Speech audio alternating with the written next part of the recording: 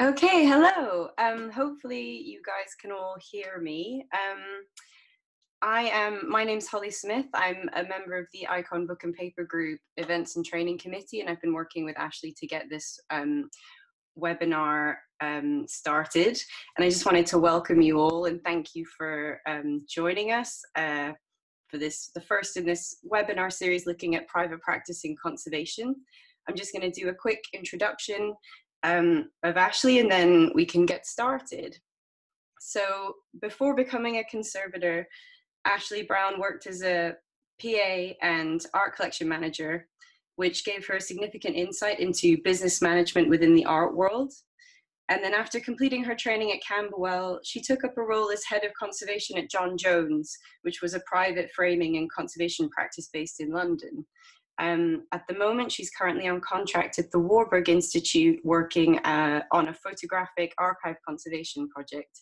And all of this puts her in a really good position to give us some insight into business management um, within conservation private practice. So without any further ado, I'm just going to hand over to Ashleigh and, um, and we can begin. I will also to say that I think we'll be able to take some questions at the end, but she's going to give us a presentation to start with. So if you could bear that in mind. Okay, here we go. Yes. Hello. Hi, everyone. Uh, I'm Ashleigh Brown. Thank you so much, Holly, for that introduction. Um, go ahead and say we are beginning the seminar. Um, so this is some a webinar seminar answering some questions that have already been handed in to us as well as some tidbits that I think would be really important for everyone to know um, about private practice and kind of business development and management.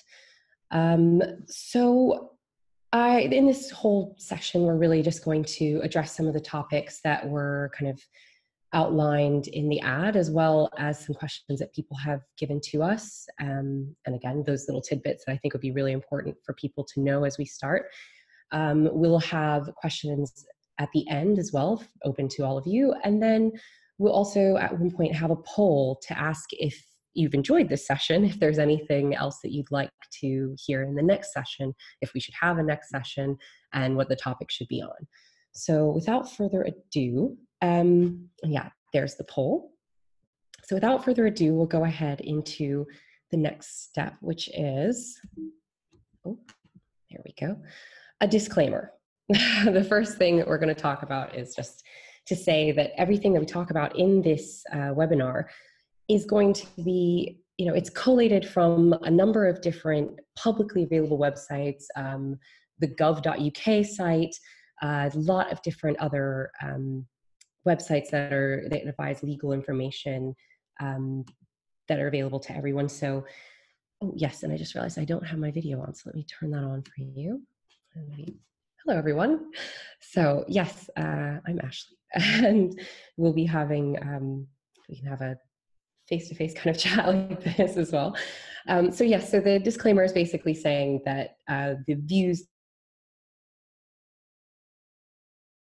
are not expressly held by ICON or the book and paper group, um, and at times or myself. This is again just collated information that I've put together for you all to take advantage of. Um, and there's a list of references at the end, which I think are really useful websites and, and um, links that should help you through all these different slides that we'll be talking about.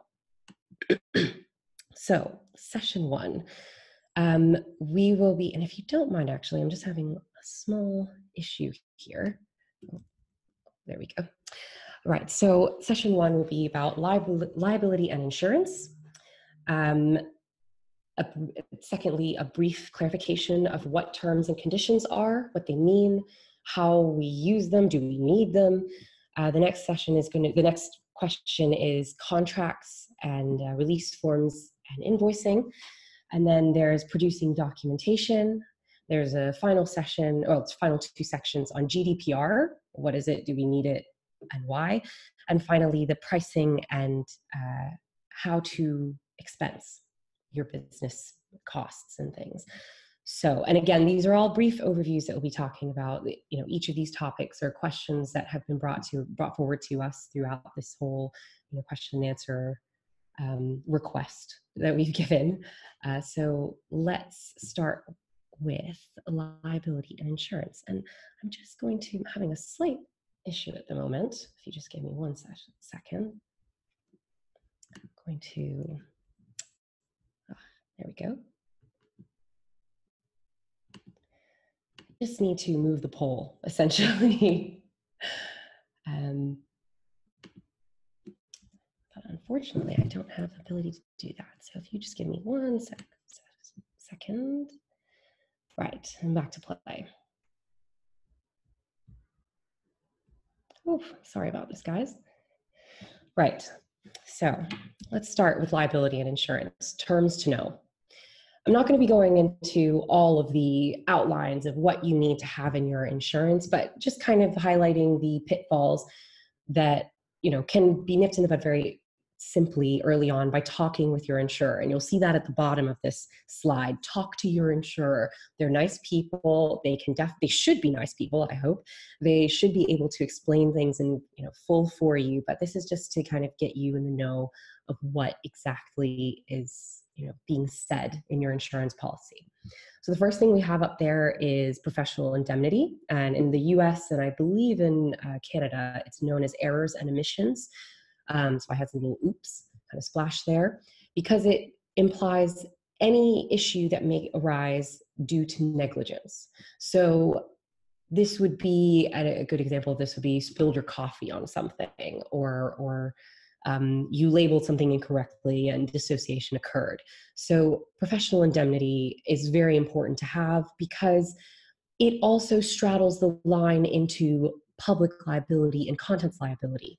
It is anytime you may make a mistake that is considered negligence, that's one thing. But within conservation, there's a lot of gray lines. There are lots of people who may say, oh, that was negligence, but actually say, well, no, I've, I've this isn't negligent this is something that is a natural uh, occurrence that can happen in this treatment. This is something that you know I, I should not be liable for because i followed the rules. I did everything right as accordance to my education and my professional knowledge from experience. But professional indemnity within conservation generally means anything of negligence and then that kind of fine line. So that's a very important fine line for a lot of us because not many people understand what is implied when you have um, a conservation treatment ex- executed. So, this is particularly important to know and to make sure that your insurance has. This also means that if you are operating your studio in your home or you have business insurance or home insurance that you think covers your professional practice, wherever that may be, you really do need to check because most business insurances for an, you know, a, a premises and home insurance don't cover professional indemnity because that's not part of the scope. You can obviously tailor your insurance policy, but that's something that you need to talk about with your insurer. So please do make sure you speak with your insurer at length about that, that one little topic. Um, the next section down is crime, public liability, and contents cover. Obviously, crime you never know what could happen. Somebody can break into your studio. Um, public liability is accidentals. So, particularly, it means if anybody is harmed on site where you may be hosting your practice. Um, but it also can sometimes extend into items. So, as in the public's items that are in your care. Uh, again, that straddles a line into the professional indemnity section as well as other uh, kind of topics within your insurance as far as covering you from any damage to clients' objects. But public liability is definitely something that's important to have and is usually pretty standard. And then finally, contents cover. Contents cover covers all the contents within your premises that are yours. Now, for that to extend into items that belong to other clients, that's something you need to talk about with your insurer. But contents cover is actually really important for conservators because we have a lot of stuff. You'll probably realize that you, you know, if you've ever had to move studio, that you have, at least myself from a paper conservation point of view, there's blotting paper, there's different Japanese tissues, there's chemicals, lots of chemicals. And uh, with the concept of blotting paper, let's say you've just bought a whole new stack of blotting papers and then you had a leak And the, that's a significant cost. So, with that in mind, contents cover is something that you can actually go back to your insurer and say, There was a leak in my studio. I lost all this material. I would like to be reimbursed for it because it's vital to my business. So, contents cover is really key. But that section of crime, public liability, contents cover, all of that does generally come standard with business, general business insurance and home insurance. Um, but the professional indemnity is pretty specific to having insurance that covers a professional, um, well, your, your profession, your, your, your business. Um, and finally, at the bottom, I have my little two thumbs saying yay, because uh, that is something that I didn't realize can be in kind of conservation insurance, but it's pretty common in most um, art conservators or archive conservators insurance policies is the extension of that insurance policy to contractors and for mm-hmm. on-site work. Um, I've seen a few different policies where they actually reduce the cost if you do most of your work on site, because obviously that is reducing the chances of issues due to logistics or due to packaging or transport, all of those things where we as professionals know there can be tons of issues that arise out of that. If you work on site, that's less liable to happen because you are generally either under the supervision or the object itself or you know the archival material is in the possession of the client technically at all times. So that can be a bit of a benefit within your insurance. And as far as the extension to contractors i've found that as long as the contractors are of a similar or equivalent uh, kind of professional qualification either by experience or you know educational qualifications as yourself that should extend to that contractor. Now again this is not with every single you know policy. This is something that definitely should be discussed with your insurer and should be um, kind of discussed at length before signing up to a policy. But make sure that you kind of have these terms and these concepts in mind to ask them because it could reduce your your policy premium and it can save you a lot in the long term as well as long as you're making sure that you're trying to cover as many bases as possible. And at the bottom where it says talk to your insurer um, this is a really key thing because throughout your time working with that insurer having a policy with that insurer you really do need to talk with them often particularly if you have a studio or well if you have a studio or you're accepting items into your possession by the client that are of significant cost because your insurance extends to a certain liability coverage. So you have a limit. Uh, generally, conservators' insurances start at about 50, no, sorry, not 50, 500,000 pounds of combined item cost. So, you know, if let's say you happen to have 500,000 pounds worth of objects in your studio, and somebody brings that extra thing that adds another 10 pounds to it and something happens in your studio, you're technically no longer covered. Your insurer will say, whoa, whoa, whoa, the combined cost of everything that it belongs to clients in your studio is no longer what we can cover. And you didn't tell us that you wanted to extend your, you know, your limit. And if you don't have that conversation with them regularly, mm-hmm. whenever you have these kinds of situations arise, it, it can cause significant issue at the worst time. I mean, you know how bad luck is. It's one of those, it's sod's luck. You have that moment and suddenly it's just, you know, you're, you're, you're out of luck. You're, you are liable and your insurance can't help you in this situation. And so it's really important to memorize what that limit is. I know what my limit is on the back of my hand. And I know that, you know, if I tally up all of the items in my studio, it's not going to, you know, reach that limit. So that's liability and insurance. Um, we can obviously talk more at length about that in a little bit, but for now, uh, let's move on. So, terms and conditions. I've decided to separate this out into three sections. Firstly, terms and conditions what are they? It is an outline of your business's practices and the requirements for your services. It should include a clear outline of the services you provide, your basic terms of liability, any governing laws that guide your practice, and payment terms. Now, what does all that mean? It means that this is essentially a guide for the public to understand what you do. Every time people say, What's a conservator? What is that? What does that even mean?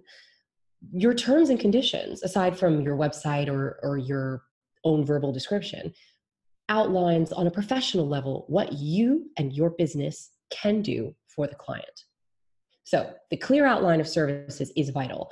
If you are a painting conservator, you need to outline what paintings means like what that what that covers. Does that mean paintings on paper? Maybe not. Does that mean paintings on canvas? Probably. So that's one of those things that you have to outline in your terms and conditions so that you don't have somebody who says well oh you know clients turning around and saying but you said you could do this. And it's like well no actually my outline says a painting conservator in my business does this a conservator in my business does this um, a treatment means this uh, an assessment means this et cetera, et cetera. It's really defining that for your client as well as the services because that in itself is really key to be clear about.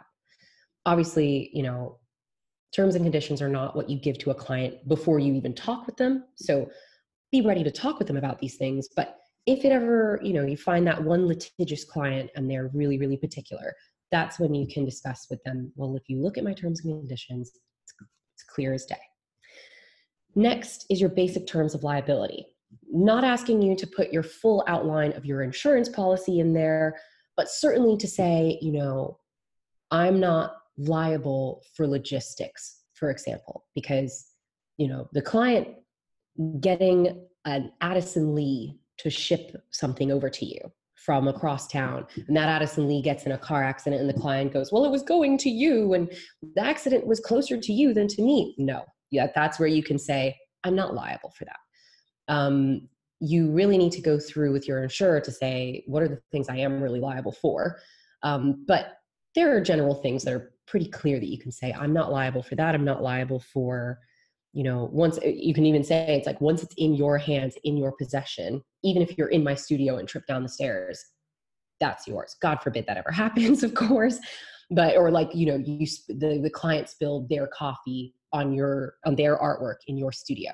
You're not liable for that. And that's something that you can kind of go through your terms and conditions and discuss that you know with a lawyer or you know look at examples and try and put that in. And we'll get to that lawyer subject in just a moment. Any governing laws that guide your practice is uh, more it's not really applicable for us but i do like to say that i mean at least in my own private practice i do mention that i try you know within a reasonable amount of skill and and consciousness to abide by PD 5454, which is the standards of practice set in the UK for the preservation of archival materials.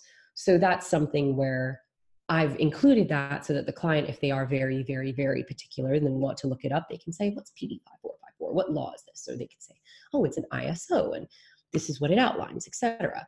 And it can sometimes also really help condense your terms and conditions so you don't, you know, have to extend it to explain what those laws are without just saying this is a, a legal term or an ISO or something that's publicly available and public knowledge that you can go and look up independently and realize what that means in terms of my business. And finally, I put it in stars, I put it in bold, and I put it in italics payment terms. Payment terms are so important. It's mainly the reason why I think you should have terms and conditions. Terms and conditions are there to protect you and to make sure you get paid. Payment terms are not limited to terms and conditions, but I think that's the best place to start putting them because then it's there in black and white.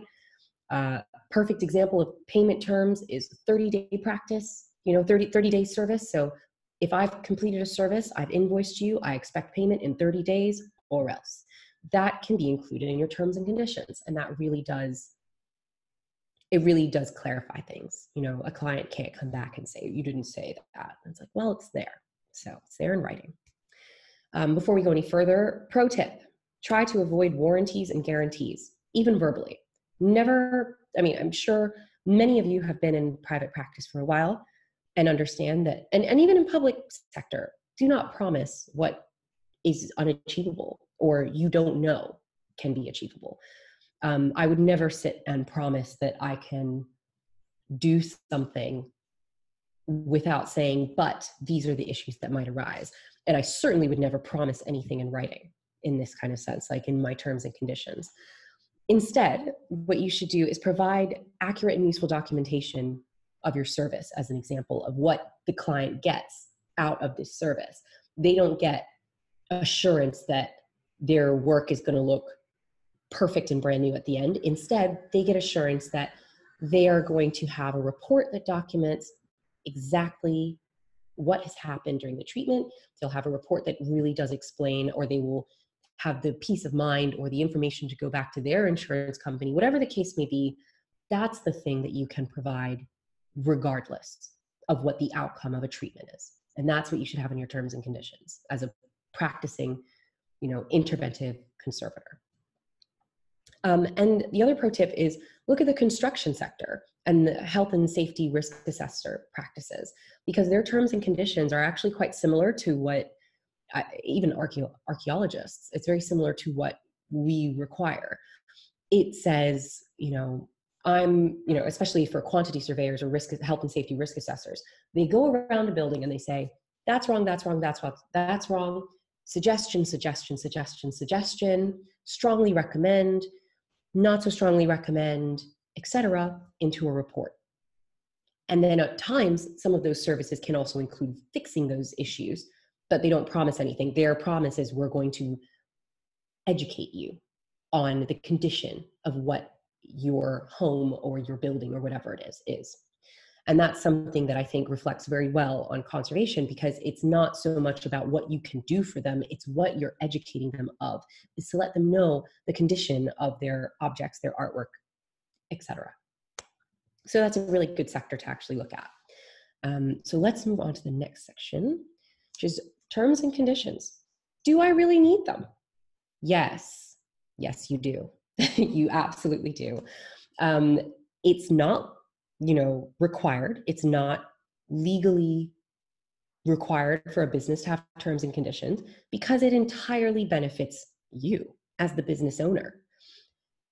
To give an example there I, I, can't even think of a business that doesn't have terms and conditions and that goes all the way from lawyers who have 800 page terms and conditions with little highlighted sections that are the only bits that you can actually imbibe as a as the you know the reader and the signer of these terms and conditions to say yes i agree to this to something as simple as going to a dry cleaner.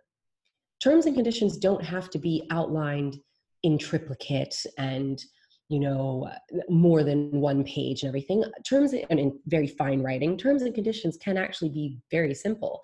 A lot of companies in service industries like dry cleaning as, as this perfect example, put their terms and conditions in like three sentences at the end of their receipts. So when they say, please pick it up on this day, if you leave your jacket here or your shirts here for longer than two weeks, we have a right to dispose of them or we have a right to start charging you interest. All of that is technically terms and conditions. That is terms and conditions of practice. They make it very easily accessible to you. They just give it to you on your receipt. You take it home. If you didn't read it, that's on you. And that's why terms and conditions are so vital for conservators. We are dealing with very high value, very unique objects, whether it's high value, unique, or both. The whole concept of conservation is to preserve items that are very rare and of somewhat significance. Maybe if you're working with, with a thousand newspaper clippings, they may not all be of significance, but they are particular to that time. They, they are unique. And it's very important to know that you know protecting yourself in this in your terms and conditions to explain to people what you're going to do for them and what you're going to do for these objects and and such are it's vital especially for insurance purposes. I mean you never want to be caught out you know in a way that somebody will sue you for all your worth as well as the worth of this million pound object i don't know. So it's one of those things where you really do need to be aware that this is key. So part c terms and conditions. Can i write them myself? Do i need a lawyer? No you don't need a lawyer. You just have to make sure that your client has access to it. So i've seen a lot of people who put and this is across different industries put their terms and conditions on their website Uh, a lot of times you'll see with those little accept the terms and conditions of visiting my website, little those little buttons you have to click on every website now. You're not clicking the terms and conditions. That's long. I mean, it's you have to scroll through. It's just it's a very arduous process to do that. You're not going to sit there and read everything. It's the same as you get a, a new iPhone or a new Samsung or whatever. It's like, do you agree to the terms and conditions of the app? Generally, people just click yes. Okay, but in clicking yes, in in acknowledging them, you've acknowledged them. You don't have to have that actually you know in most cases especially within a service. That's mainly for anything that has to do with online um, interaction which has to do with data protection which has to do with gdpr which we will get to. So you just really need to have terms and conditions somewhere either publicly available or given by you by hand or digitally to the client themselves. And on the reference slides, there are a whole bunch of links to free service terms and condition outlines that you can download and tailor and make exactly exclusive for you that, that are legible, easy to read, very sensible, and are provided by kind of legal aid public legal service professionals. One more thing, which was advised to me by a friend of mine who's a lawyer, is about exclusion clauses. Now, this is not always really that important for conservators, but I think it was just really important to have just in case. Um, and the example is that if you have an exclusion clause that is unusually wide, which will say, I don't know, you're, uh, I'm not liable, or, you know, X is not liable as a conservator for any damage in underwater or something. I don't know, something very wide reaching, very vague, and you end up in that situation, you should highlight it. This is one of those things where this is the relevant information for that particular client or for all of your clients. It's really important for them to know. It's really important to highlight them. It's actually set legal precedent that you need to highlight exclusion clauses that are, or inclusion clauses that are particularly far reaching um, this is something where you may want to speak to a lawyer if you have a situation like this. You'll probably know if you do, but most people don't have that issue, especially you know emerging private conservators or pretty established private conservators. I, I really rarely doubt, I, I, highly doubt that you'd ever need that. Um, we have the little red hand pointing to it. And uh, if you'd like to have a little laugh later, you should definitely look up where that red hand comes from because it's from the original precedent of this case where some judge deemed a contract so unfair that he was like, you need to, you need to point that out a bit better, literally with a pointer. So, so that's terms and conditions. Um, next up, we have contracts, invoices, and release forms.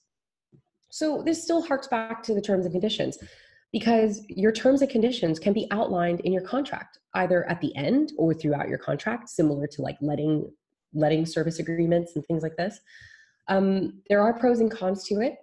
Uh, I know that, I mean, I think with the having websites available for people, it's becoming more and more popular to have your terms and conditions available for download on your website so that people can have it someplace at home and review it and not just use it as scrap paper or something. Um, not that they would, terms and conditions are important. So the pros are that clients will always have the T's and C's available if you have it within your contract of service for whatever contract you're whatever service you're providing them and they won't be able to break any of the clauses of your terms and you know and conditions easily. They won't be able to say hey you didn't say this and you'll say well if you read the terms and conditions which are attached to the contract of our agreement which you have a copy of and signed you know you're, you're covering all bases that way. Um, it also provides clarity on payment terms services and your timeline so if they're like, well, what does that service mean? They say, ah, that's actually in the terms and conditions, which is clause blah, blah, blah on this page. You can reference back to it very easily. And it condenses the document for clients to a certain extent. Because if you print out a long terms and conditions, if they, if they print out terms and conditions at home and then they have your service contract on paper, then they have to go back and forth between things, they can say, well, it wasn't easily accessible, even if it was. In this way, you can kind of staple them all together in hard copy or email it all together into one file, and that's it. They've got it. The cons are that you know, it can be kind of overwhelming for a client to have a contract and then terms and conditions. It feels like you're buying a house or something. You, you, they could get a bit overwhelmed. And I hear this a lot from conservators that clients get overwhelmed with the concept of terms and conditions and contracts and invoices. and not to go into a kind of rant about this, but if you were to meet that client when they were buying their car, would they have that same apprehension for proper documentation? No. They would say, I want more pages. I want to know that this car has this and that and this, and you're going to provide me with this service and that service. They like that kind of documentation in that industry. So I I'm having a disconnect as to why it's too difficult to involve your clients with the terms and conditions and con, you know physical contracts or digital contracts. It's important for them to see it legitimizes your business so that it's not some kind of shady cash in hand art world kind of thing. It makes it gives it a legitimacy that's really important.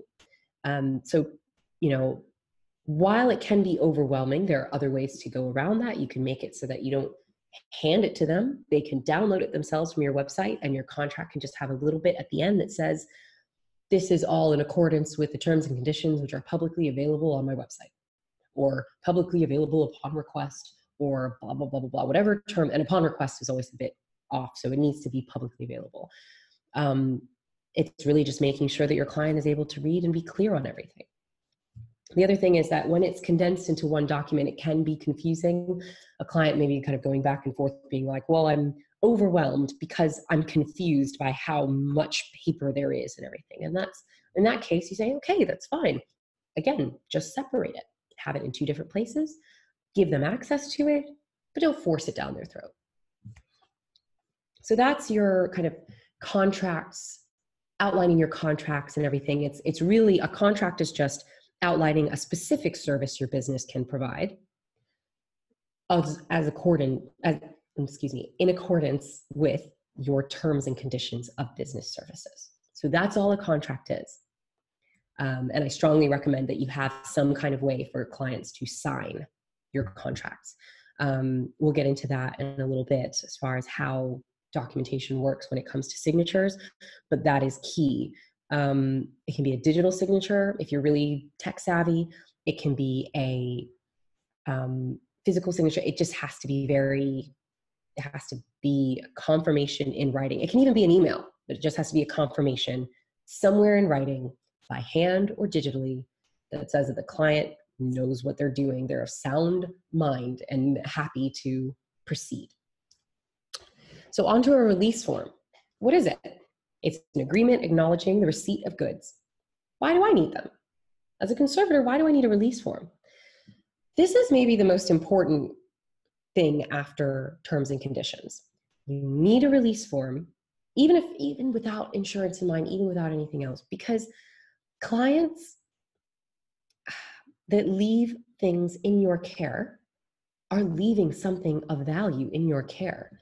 And once it's with you and you don't have a, a, written agreement about that, there are lots of really dodgy things that clients can say. Now, God forbid clients be them individuals, you know, it could be a granny down the road with her kids' photographs, it could be a corporate entity, it could be a financial institution with archives, it could be an educational institution, it could be any kind of client you could possibly think of needs to sign a release form when they give you something because you never know when things can go sour. And if they go sour, one of the first things they can say is, Didn't I leave that other object with you?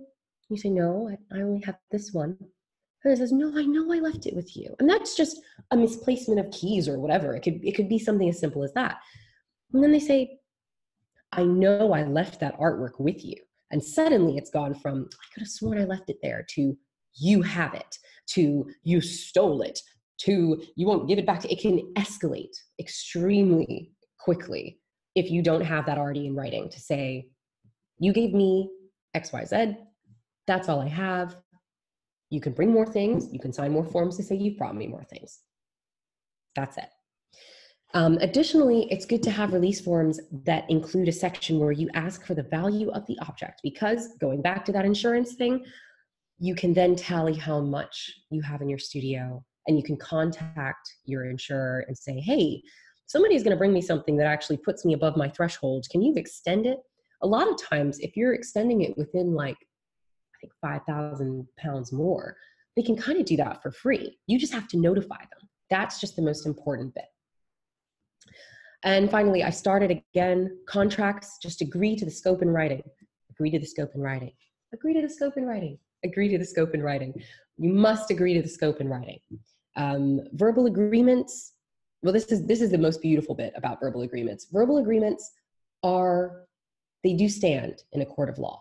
However, in this country and in most of the Western world and parts of Asia, and I think most of Africa, you can have a verbal agreement with somebody, but the moment that you use your phone or something to record a verbal agreement, especially with those sneaky, kind of dodgy clients you may have, the moment that you record that verbal agreement and you bring that to a court of law, that verbal agreement is null and void because you recorded them without their knowledge.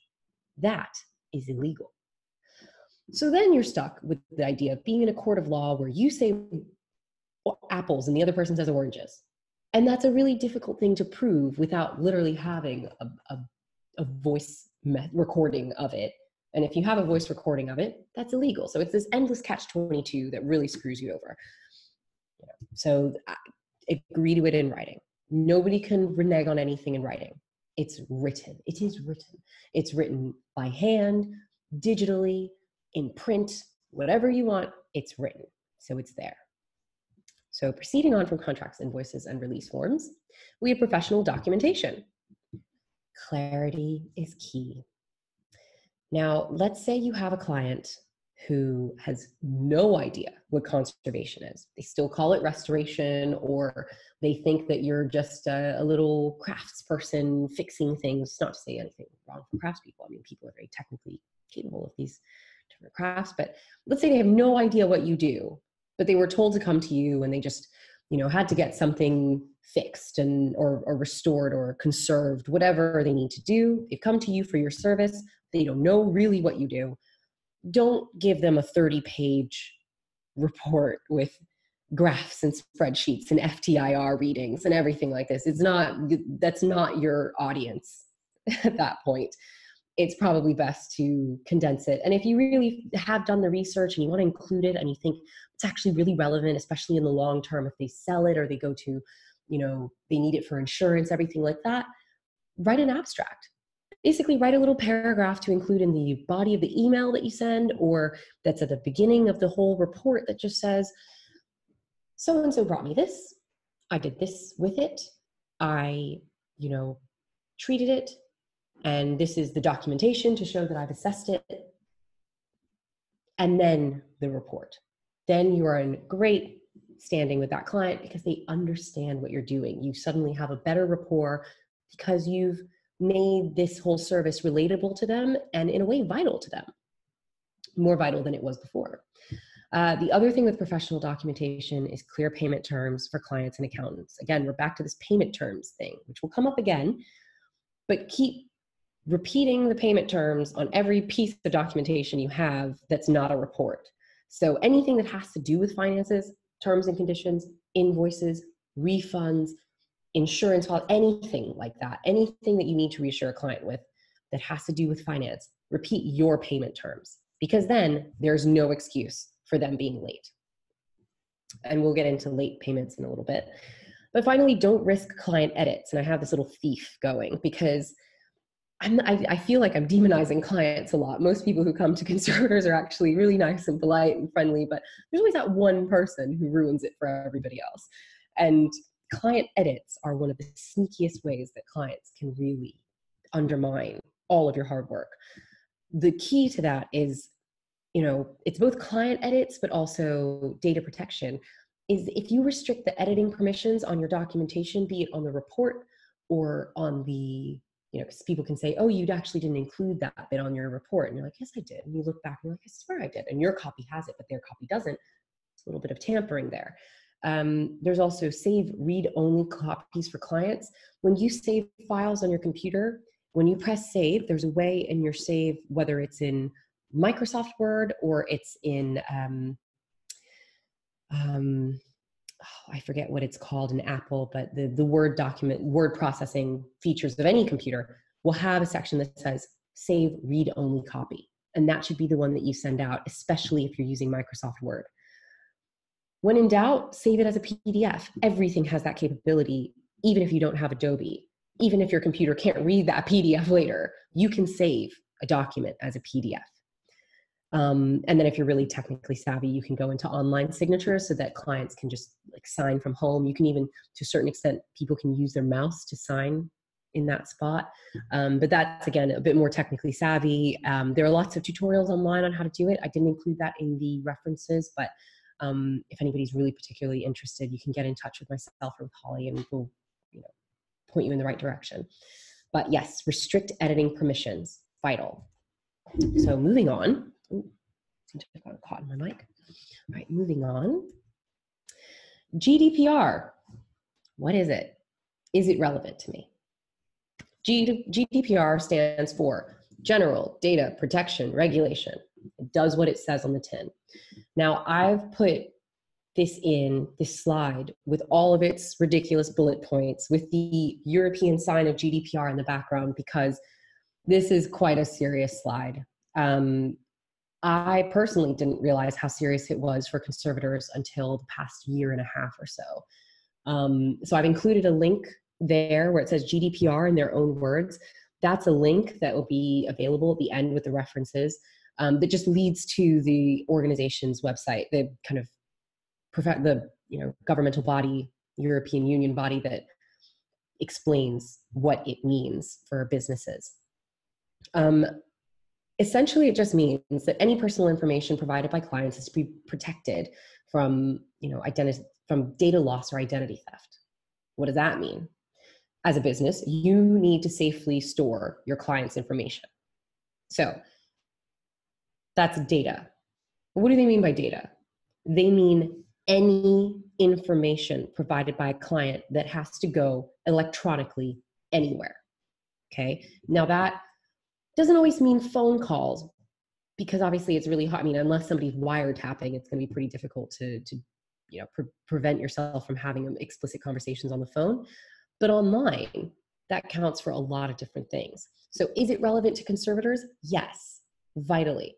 All of your clients will provide you with some sort of private information, be it their home address for invoicing, phone number, personal email addresses, um, hopefully not financial details, but possibly financial details. All of the, that information you need to be able to protect. That's so important. I mean, imagine if your plumber ended up accidentally releasing all of your data because he got hacked. And then you're like, well, now all my information is somewhere with some Russian hackers who have stolen my identity and stolen all my money because of my plumber. It's like those are really you know it seems very distant but that's now something that you as a business are liable for. So with that in mind how do you protect digital data? Better digital business administration. One of the biggest things is turn off your company computer at night if you use a personal computer for your company's business i do that then the key is you need to password protect your computer and your phone anything that's used within your business, you need to preferably, I mean, if you really want to be, you know, top dog on this, you need to provide password protection for the documents that are used, produce those read-only documents when you send them to people. Um, and a really interesting one that I didn't realize how relevant it was, but you really need to be aware of the protection provided within your service provider. So if you are this i mean essentially this means make sure that you're connected to safe wi-fi. So don't finish off that report for i don't know bill gates. If you're writing a condition report for bill gates don't finish that report using the wi-fi extra on the tube you really need to make sure that you are protecting this data because if it ever is you know if it's ever susceptible to malware it's probably already getting that malware attached to it it's probably already has somebody kind of prowling for interesting names and interesting people to steal identities of. A lot of people just do it for practice. I mean, I don't know if any of you have experienced identity theft. Um, I haven't personally, but I have witnessed it in friends and things, and it totally disarms you and to a certain extent ruins your life on a level that you would never think is possible because once that person has that one email password they probably have your other email passwords once that person has that one you know phone number to log in to Facebook or something, they're in. And all of those different websites have come under fire because they all have links to financial information.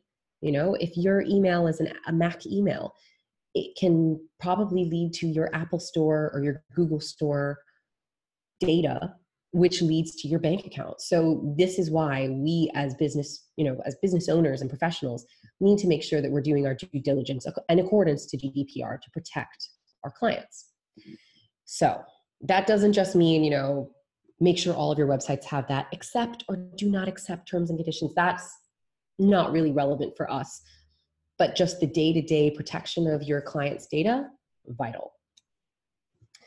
Um, so yeah, long story short, GDPR means you need to protect your client's information as you would your own.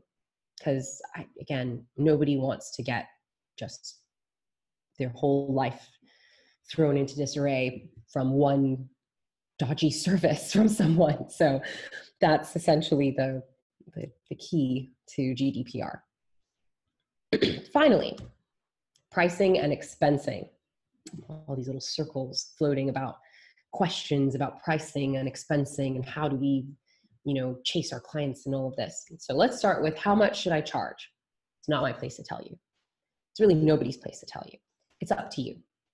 But i would ask around. I think it's a totally relevant question to ask other conservators and you yourself will be able to kind of gauge you know this conservator has had 20 years of experience and has really big major galleries and private galleries and things as their clients versus this conservator has just graduated but is going private.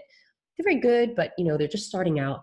There's going to be a price discrepancy and that's really you know that's that's any business that's any industry. Um, so that's something for you to kind of gauge.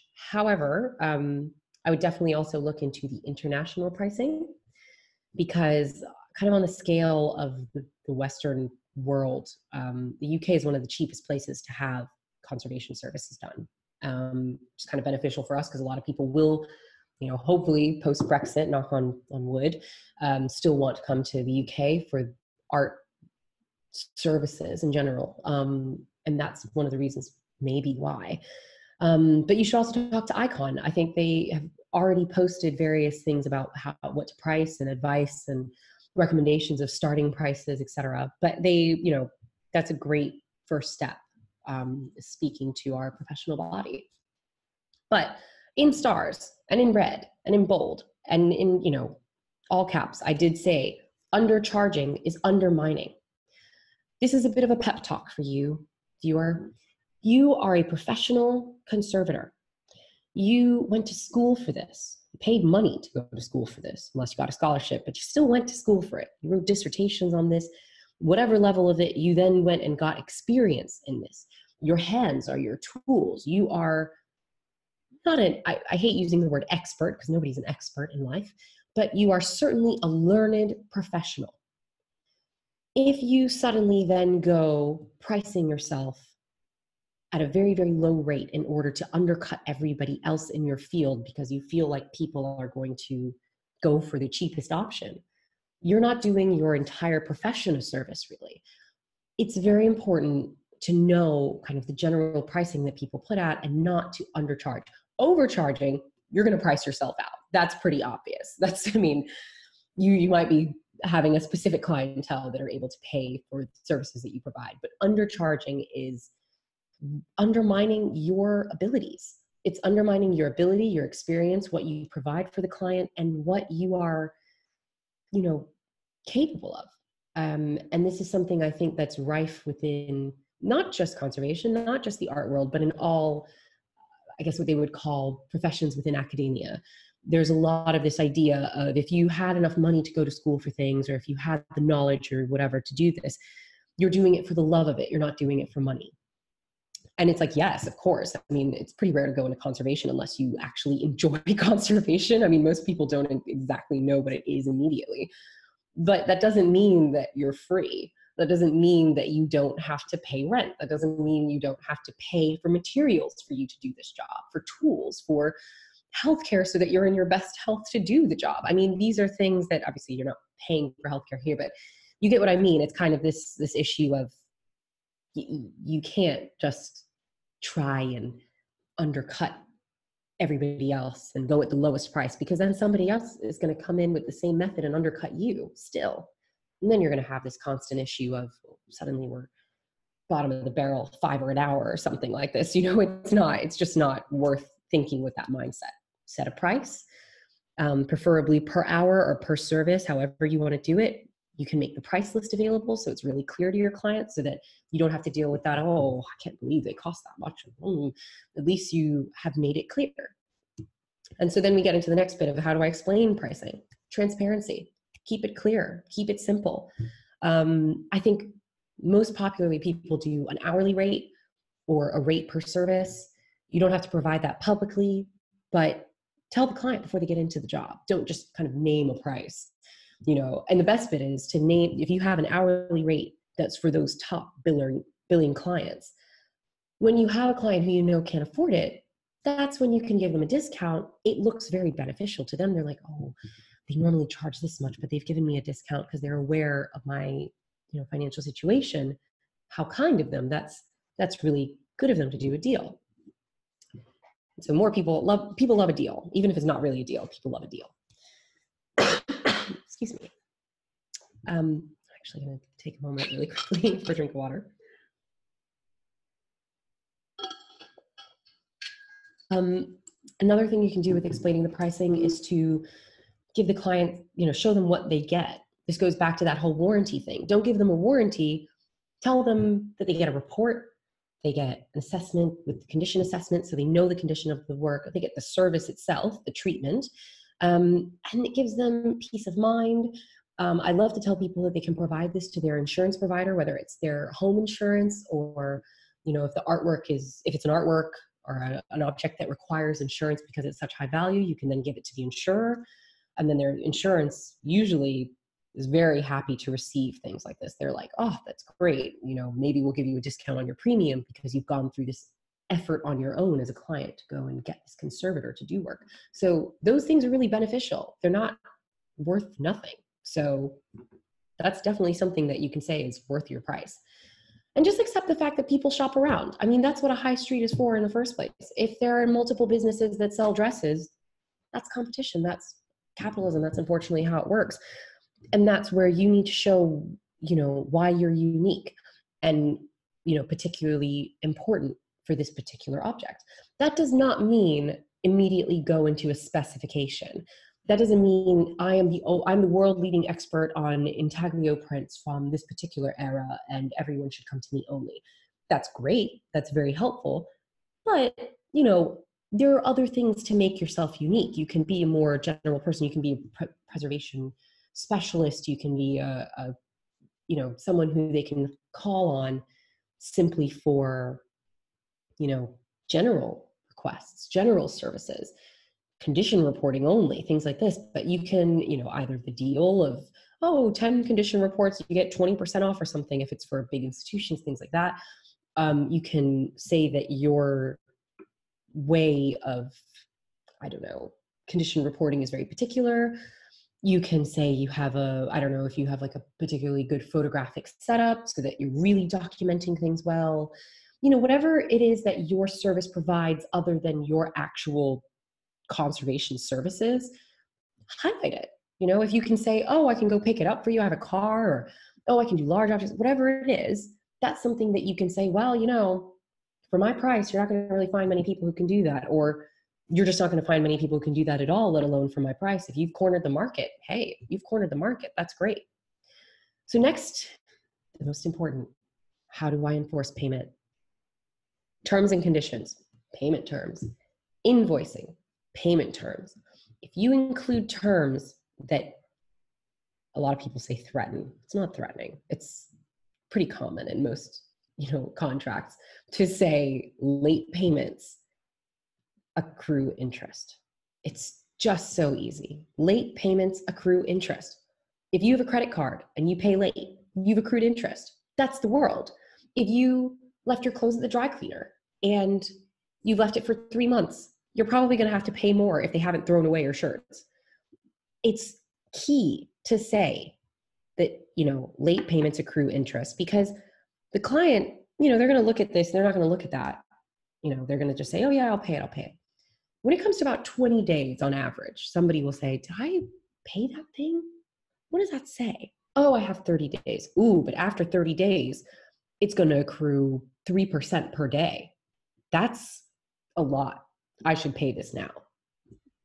Especially, you know, accountants, corp anybody who has an accountant who does their payments for things, corporate entities, universities, things like that, they will be looking for that payment term. That's key. They usually time it to that payment term. So that's why a lot of places won't pay you until the 29th day at the 23rd hour. They'll suddenly, it's in your bank.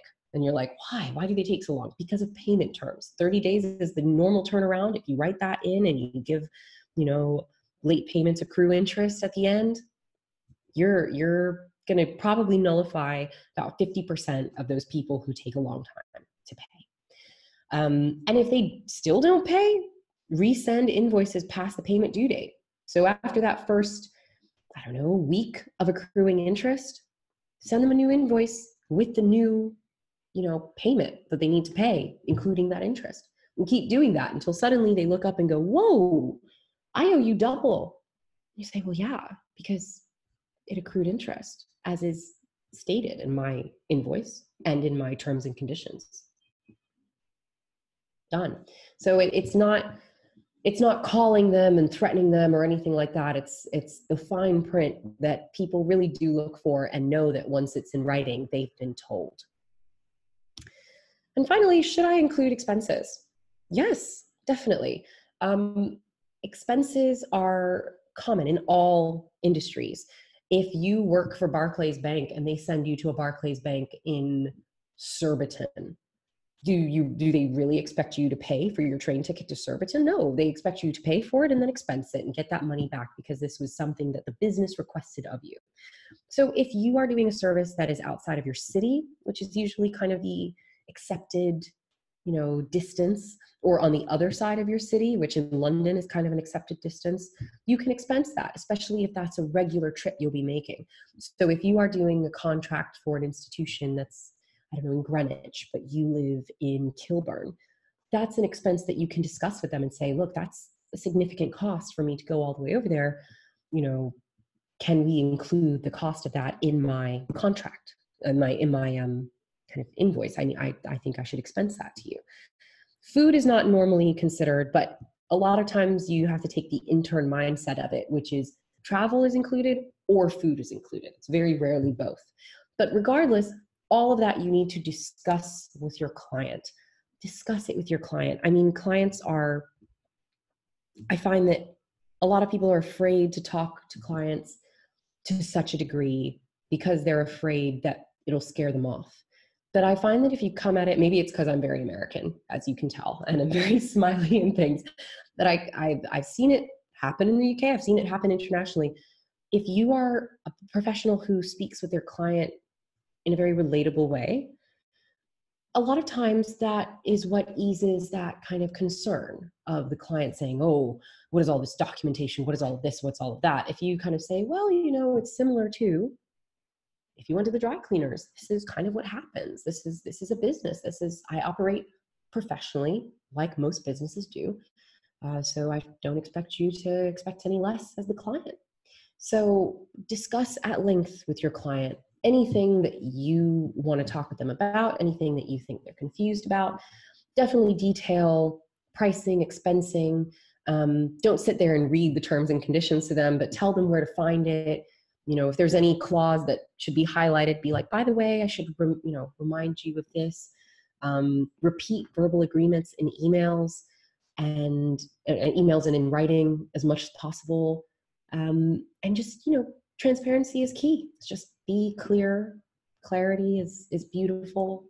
We live in 2019 i think clients will definitely be interested in in knowing that you are out there to help them. And it's good to have that rapport with a client as well because it helps you very much in the long term but that's for um, for another day so this is the list of references. Um, we've come to the end of all the questions. This is a list of references here. Um, i'll just really briefly go over it. Um, with insurers i don't want to recommend any particular insurance firm. I think that's just unnecessary. You can Google it. If you can Google conservators insurance, um, just call each company up, call whoever they have as their, you know, broker to talk to and say, you know, what's what's the deal with this insurance policy? Do you think it's relevant for me? You know, I do this particular type of conservation. Really just lay it out on the line with them because that is your confidant. You know, insurers are at times more important than lawyers. so it's very good to have that all clear with them and, you know, ask them to explain stuff. They're, they're happy to. Uh, legal document samples. Um, Template Lab is the one that I included because it has 40 different service uh, service versions of terms and conditions. So for service industry terms and conditions that you can then tailor. But if you just Google terms and conditions template service or service terms and conditions template or, or any amalgamation of those words, you will be able to find terms and conditions that you generally digitally can input through their website, like your terms, what your business does, how long you've been in business, what the business is, etc. And then you can just have you can download it, it has your terms and conditions. And in most cases, these are free. You can also contact gov.uk. They have like an enterprise branch that's really useful. And also, um, what are they called? Legal aid. Even Job Center Plus, to a certain extent, for entrepreneurial, like their entrepreneurial department, should be able to help with terms and conditions. Um, so financial document templates, you've got service contract templates, which are pretty lengthy. You can just condense it as necessary, but they, in a way, include the terms and conditions as well. So that's a nice basis to start with. So we've got Rocket Lawyer, Wonder Legal, Law Depot, all of those different firms are, um, you know, their website online firms that help people with everything from, uh, you know, online rental agreements to service contracts for websites that provide services, which is also really interesting to look at, um, et cetera, et cetera. There's also consignment note template examples, artwork release form template, template examples. Um, the difference between the two, artwork release form is when a client releases something into your care, um, whether it's on site or not. And a consignment is when it's released into your care on your premises. So artwork release form would be for everything. That's to say, you know, maybe you don't know what service you're going to provide them, but you know, this is this is to say that I am now interacting with this object even if it's at your home. It's a release form to handle things essentially. Whereas a consignment note is you're leaving this with me. Um, and then more release form examples. Um, tax advice goes into a lot more things, but I thought it'd be useful to have um, to link this for sole trader versus an LTD. Very, very briefly, um, being a sole trader is to be, uh, you know, private practice conservator without a business. So you're just an independent sole, you know, individual working. That means you can contract to other businesses, um, et cetera, et cetera. Not to say that you can't as an LTD, but the thing about being a sole trader is that let's say somebody releases something into your care uh, it gets lost or something happens to it you are liable to the extent of your personal finances which for a lot of sole traders is not relevant because it's not you know being handled to that extent but with conservation there is quite a fine line so it's pretty important to know if you need to be a sole trader versus if you want to be an LTD, which means a limited company, which means a limited liability company. That's not to say you don't still need insurance, but this being a limited company makes you an entity that is limited to whatever is the financials within that entity. So, I don't know, for example, Ashleigh Brown Incorporate means that if you sue Ashleigh Brown Incorporated, I am not being sued. Ashleigh Brown Incorporated is being sued. So it's quite a it's a nice one for conservators. Um, I strongly recommend it. It means funnier tax things. It means probably investing in an accountant, but it can be very useful in the long run, especially if you're dealing with very high value things. Um, then we have the VAT scheme, which is also really useful, which is that if you are a limited company, but you're not making extreme amounts of money, you can use the VAT scheme as a way to make yourself exempt from VAT Uh, from having to pay VAT back to the government for up to, I don't want to quote, I can't remember what exactly the number is, but it's all outlined there. That's through gov.uk. There's more information on being a sole trader. There's more information on being a limited company. And then there is the contact information for HMRC. It's vital as an individual, as a conservator, as a, a person living in the UK. Save that. Save that. It's very, very important. Once this is publicly available to you, definitely save it. Um, and then reporting software, because uh, we did have some questions about how best to streamline your not reports as in your conservation reports, but financial reports, invoicing, um, you know, all that kind of stuff. Um, Capterra has is a financial kind of web comparison service. It's a free service. They have a comparison document that's linked there with all the different types of software that you can use. Really, really helpful. Um, the most famous one is QuickBooks, internationally recognized, definitely very useful. It updates every year with new tax law for your country, very helpful. You can invoice with Quick, QuickBooks as well. Um, I believe if you get like certain extensions, you can even send contracts with QuickBooks, which is really useful. You know, you can kind of outline a contract of service and send that on, but that's, you know, again, not exactly in my remit. And then Harvest is another one that's free that within one business you're able to send contracts, send invoices, and document your time, which QuickBooks has as an aspect, but Harvest is really good at, excuse me, as well. You can document how long you've been working at things, and you can do it with an app on your phone. So you can basically, and QuickBooks has this app. Most software does have this app. Um, I just put those two as like the top two links through Capterra, but definitely go and look at the comparisons because let's say you're doing an hourly rate based job, turn on the timer, see if you exceed it. It immediately calculates how much those that per hourage is, and it gives you with the VAT. So that's pretty nice. Then there's the money supermarket link for um, different uh, small business banking with, uh, services, which is really, really vital because whether you're a sole trader or a limited company, it's really good to just have a business account to separate your finances, goes without saying. Um, then there's that link for GDPR again. Um, and finally, an article, which is things I learned in my first year as a conservator, which is from ICON. And I found that really useful as a kind of additional link for information. If you're an emerging conservator like myself, I think it's really, it's really helpful to kind of gauge from just the conservation practice side of things what to do in professional development. Um, so with that in mind, please do make sure that you check in on the poll and um, we're open to other questions.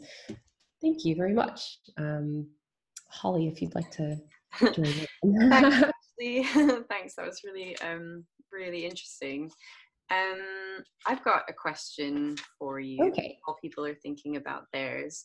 Um, and something maybe that you didn't mention um, uh, is like deposits and asking for deposits in advance of works and i don't know like what your opinion is on them and whether or not um, you think that might be a useful way to get around helping to secure payments for for works and things like that um, yes i think deposits are again this is in that whole um, personal opinions kind of section now but i would definitely say that the um, the deposit say the deposit scheme as though it's a rental agreement, but the deposit scheme is actually really useful. Um, I try to limit it though to works that like any work that I do that's like over, I think a thousand pounds, mm. because sometimes it can get really nitpicky if you're asking for a 50% deposit every time, or sometimes some people ask for full payment, especially in cases where you require additional materials.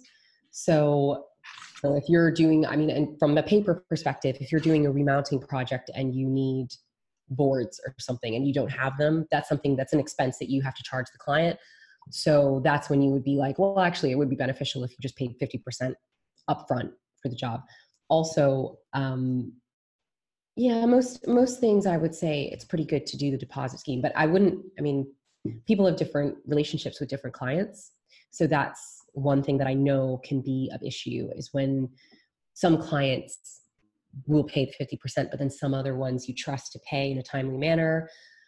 It can become a bit funny if anybody finds out that that person has to pay, you know, when the job is done, whereas they have to be paid 50%. So whatever policy you take, either keep it very discreet or try and keep it, you know, consistent. Yeah, yeah.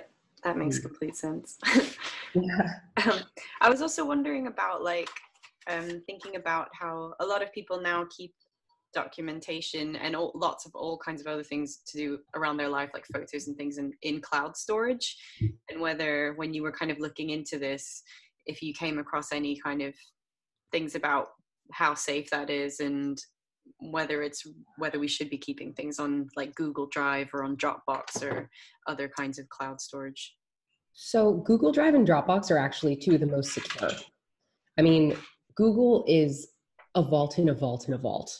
The way that they code is amazing and how they protect your Google Drive information is incredible. Mm-hmm. And the best bit is is generally speaking, Google and I mean Dropbox doesn't really do this, but Google obviously has very far-reaching talents as far as what their data collection can do. Mm. But in most cases, it's just about getting you to buy stuff.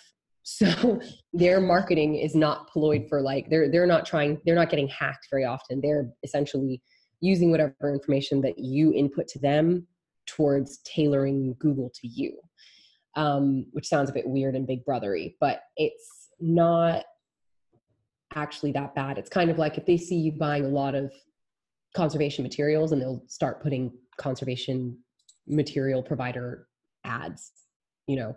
So they're not actually looking to look at the private information that you've got stored on google drive. However that's because they're a major company. Same with uh, dropbox. Same with um, even like transfer what's the transfer we transfer things like that.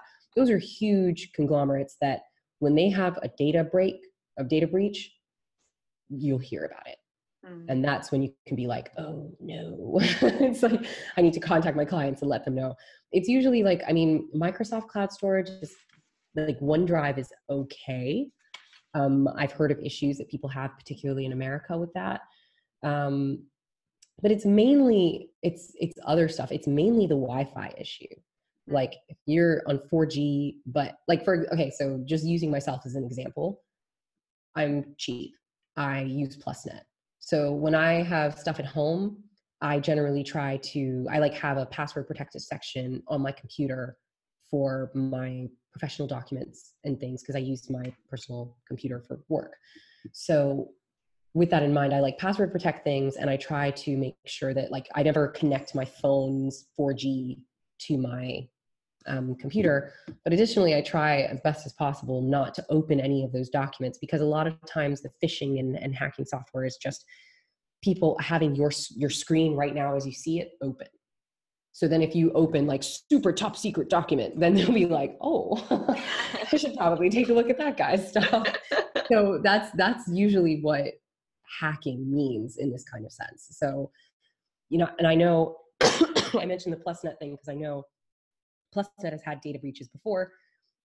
I use them for my home internet because I'm cheap and they're very affordable. But, you know, I certainly don't trust them to that extent. Whereas, you know, and on the same level as like if I'm on the tube and I'm using Wi Fi extra, I'm not going to open a secure document. Mm. So That makes sense.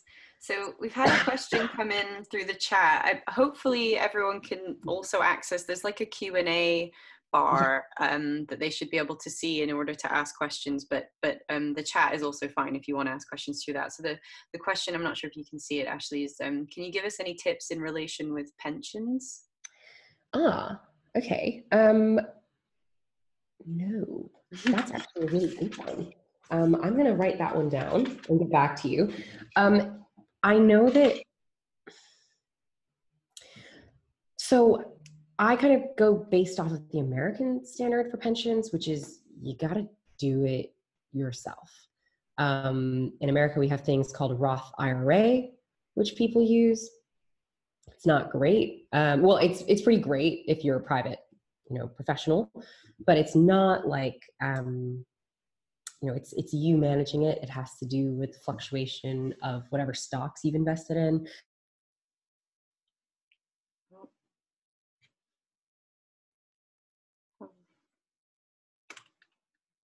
You've frozen.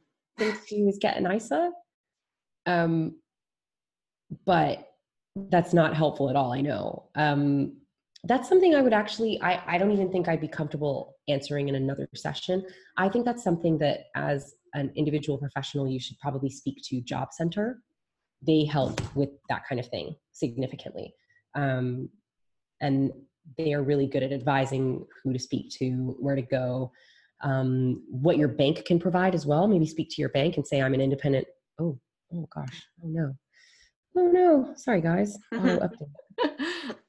standard yeah of course it's gonna do course. it now this is right at the end auto update sorry everyone um let me go back to the chat okay back to back to that um yeah so uh, yeah, I wouldn't. I don't feel comfortable answering the pension question, but I would speak to job center, speak to your bank, explain your situation as a as a sole trader or a you know limited company.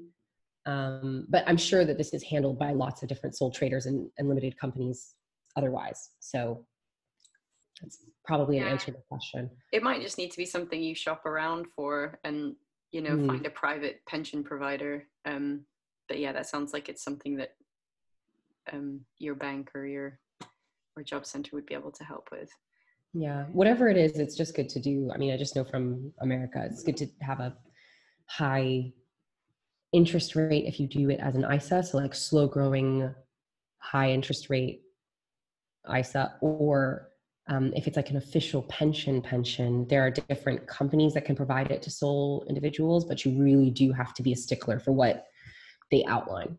So, Hmm. thank you mhm. does um does anyone else have any questions at this point um again you can use the chat or the q&a bar hopefully yes. Anybody? um, I'm not gonna. Obviously, I can't answer the poll myself, but I would definitely say, um, I mean, those poll questions are. If you if you have something else that you'd like to have hosted, just let me know, because you can. I mean, you can email us and say you have something else you'd like. But ooh, another question. Um, hello, Daniela. So, as a conservator just starting out, other conservators sometimes assume that recent grads are willing to. Yes. Yes. So, Daniela's question is a very good question, not just for conservators, but for people across different industries. do you And want to it- just repeat it all the way to the end so that Yeah. I'm gonna, I think it's so as a conservator just starting out, other private conservators sometimes assume that recent grads are willing to volunteer a lot of the time. So the question I have is how do I ask that conservator if they plan on paying me for my assistance or if they haven't mentioned it? Should I wait for them to mention it? So that's a really good question. I'll type the answer later. I'll just answer it verbally for now. Um, yes, this is again back to the clarity issue, and this is back to the payment terms issue. Talk to them, say, you know, I'm a recent graduate. However, I have graduated. I'm not a student and therefore not an intern. Um, you approached me with this job as a job, not as a voluntary position. Um, and and just ask, just say, you know, what would you be happy with? You know, whatever starting salary that you think is appropriate. Again, ask around. Um, especially for just starting out, I would definitely speak to people as far as what starting salary is in other industries that have graduate students entering it. So whether it's you know graduate finance might be a bit extreme, but there's also um, you know other industries, tons of other industries, you know, emerging architects, things like that. They don't volunteer their time. They they charge a salary. They charge an hourly rate. Um, it's a lower hourly rate than everybody else, but this is that whole gradient of pay. So that's why it's really important to, to discuss it with them. And I think it's really kind of unacceptable for it's one thing i mean it's it's not a good thing to not pay interns but it's one thing to not pay an intern who is established as an intern whereas you're contracting for a private conservator and you you know it's it's just not it's just not on. You should definitely ask for for payment or not ask but certainly discuss it. Don't feel afraid to discuss it. It's something that's you know it's it's your livelihood. You should definitely ask.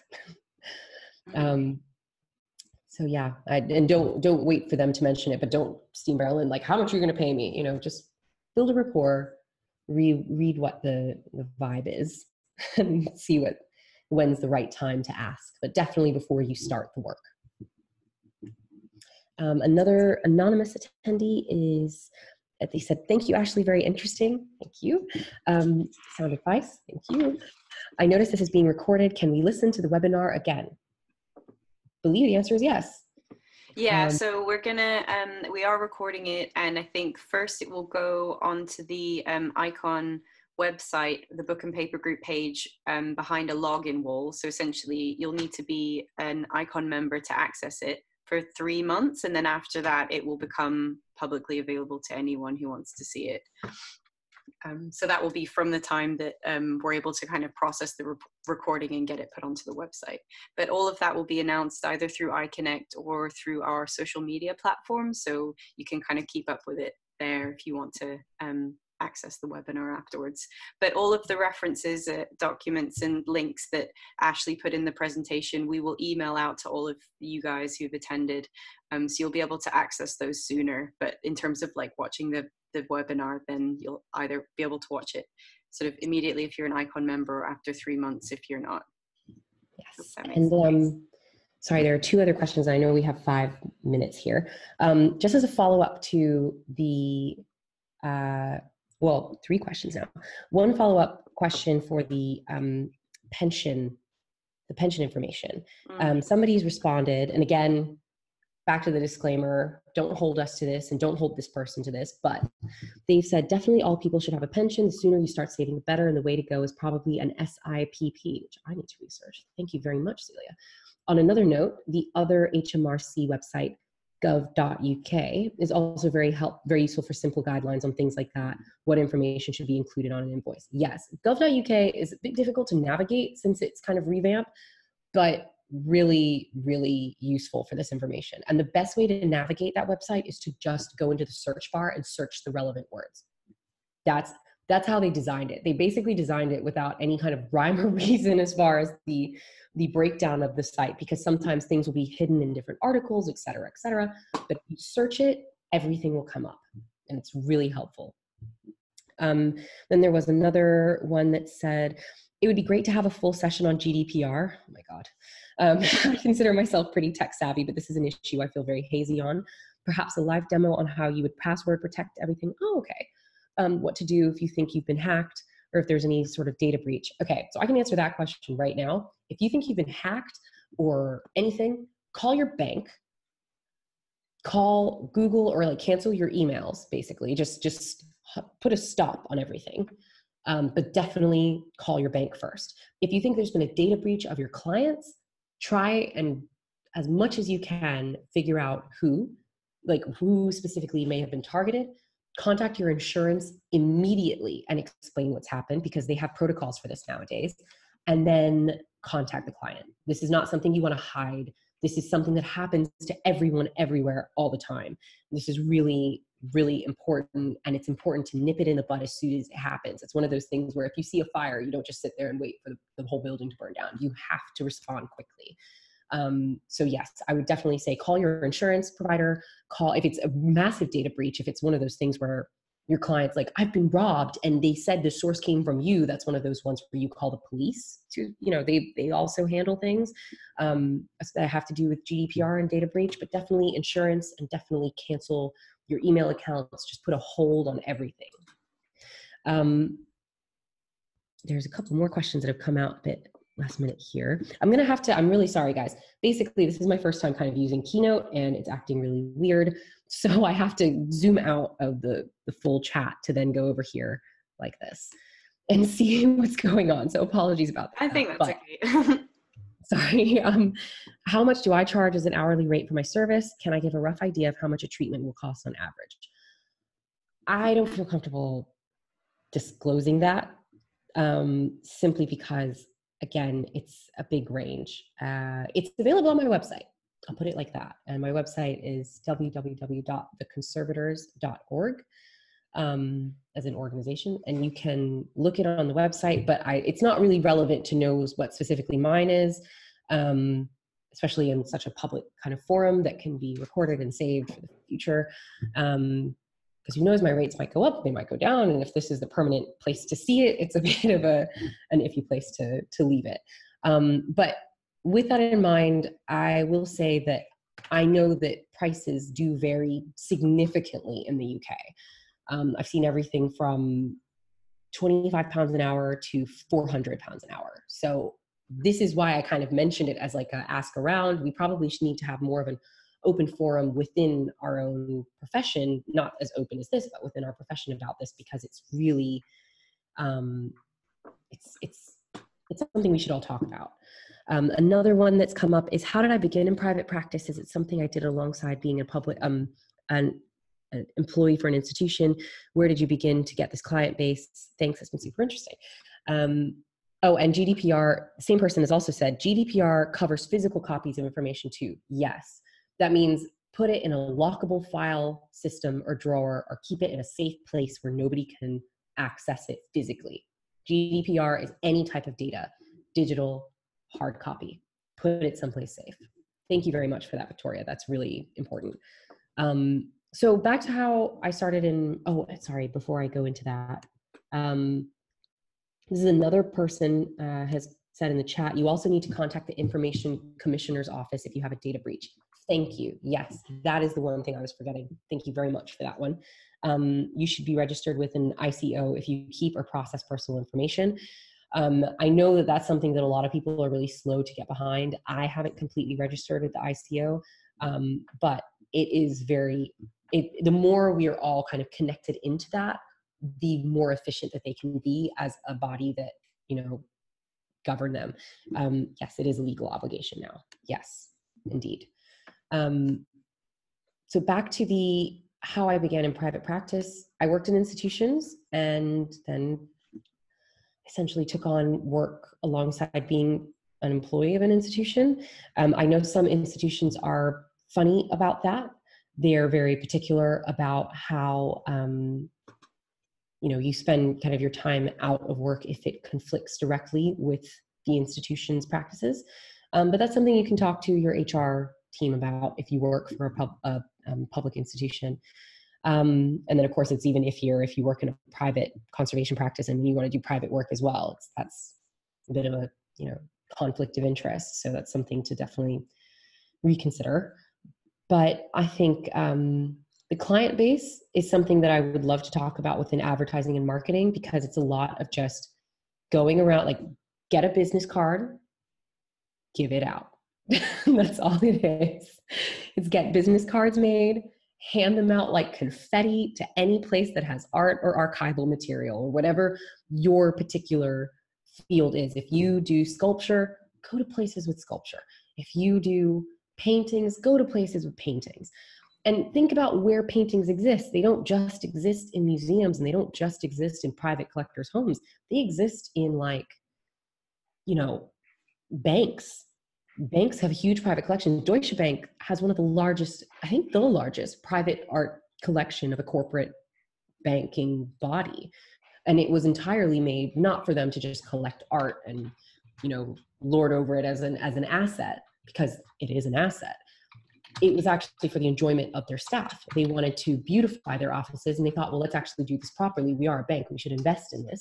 And they did so for the past 40 years or so, they have an, amassed an incredible international collection. That's a place with paintings. Send them a business card, you know, things like that. Like this is how you build a client base. Um, and it's every what everything from you know giving coupons to to people for deals on personal photographs, etc. You know, it's to, to to then corporate entities and private individuals and billionaires if you'd like. but but um, it's just getting your face out there. So that's something I can talk about at length another time. But I think it's definitely not being a bit shy about it. You, if you're going to start your own business, every industry that has its own business start independently, they have to put themselves out there. So great. Um, yes. Great. Um, I was just going to say I, to, to stress Nicholas's um, point about the ICO being a legal obligation. It is a legal obligation. Um, I need to get on that myself. Um, but and it's a it's a very important thing to try and register and get everything collated together. So thank you, Nicholas, for that one. Mm-hmm.